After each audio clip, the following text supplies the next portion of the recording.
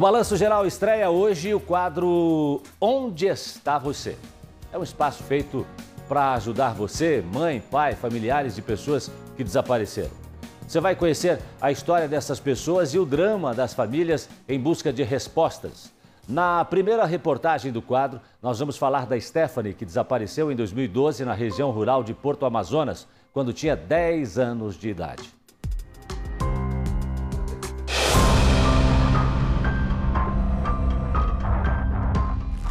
Esta jovem de 20 anos, do retrato falado, a mãe não conheceu. As memórias da Zenilda são da pequena Stephanie Vitória Rochinski, de 10 aninhos. Uma criança tímida, sorridente e muito amorosa. A última vez que as duas se abraçaram foi no dia 4 de maio de 2012, na zona rural de Porto Amazonas é um dia após o outro que a gente vive, né?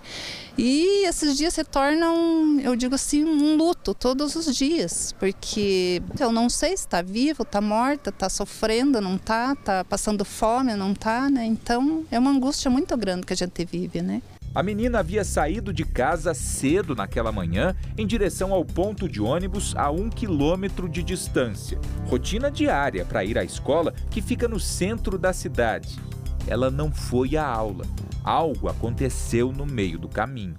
À época do crime, os cães farejadores utilizados nas buscas chegaram a apontar que Stephanie teria passado pela casa de um vizinho da família. Este homem chegou a ser preso, mas foi solto porque nada ficou comprovado. Estes mesmos cães apontaram que Stephanie teria circulado nas proximidades do rio Iguaçu. Buscas foram feitas, mas sem sucesso. A luta dos pais de Stephanie se tornou apenas da mãe em 2015, quando o marido morreu em um acidente de carro. Anos difíceis esses últimos 10 anos para a senhora. Sim, sim, com certeza. Eu digo assim que se hoje eu estou de pé através de pessoas, hoje agradeço muito. Não cito nomes, porque hoje é, eu digo o mundo, tá? Comigo, sabe? Não só comigo, como as mães dos desaparecidos, né? Em 10 anos, pistas do paradeiro de Stephanie surgiram, mas nenhuma informação concreta que pudesse levar a polícia até ela. Surgiu pista de pessoas parecidas, até mesmo fui ver, fui atrás, né, para ver, mas não era, né?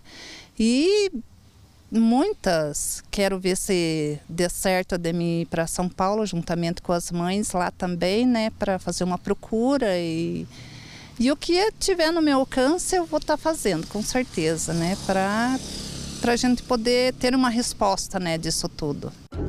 Esperança de mãe não diminui com o passar dos anos, se renova. E eu acredito pelo tempo que já passou e tudo, eu acredito que ela está viva, sabe? Até mesmo penso eu que está fora do país, né? Porque é impossível, eu acho impossível, né? Para tirarem a vida dela em Porto Amazonas, eu, eu acredito que teria encontrado alguma coisa, né? Porque a busca foi muito grande, sabe? E até mesmo não ficou um fio de cabelo, nada, nada a gente não encontrou, né? Então eu acredito que essa menina está viva sim e tenho esperança de reencontrá-la novamente, né? Em nota, a Polícia Civil informou que segue investigando o desaparecimento, que diligências continuam sendo realizadas e que todas as denúncias recebidas são apuradas pela equipe de investigação.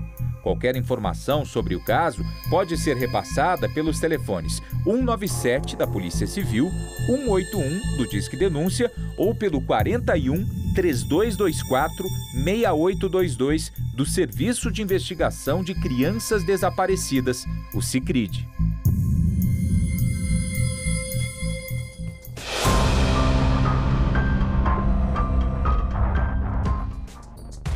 Muito bem, esse é um novo quadro que a gente tem aqui no Balanço Geral, que é um espaço que a gente abre uma prestação de serviço a você. Se você quiser entrar em contato com a gente, se você tiver alguma situação que você queira compartilhar, alguma ajuda que você precise, 999-26-1598, 999-26-1598. O drama dessas mães né, que buscam pelos seus filhos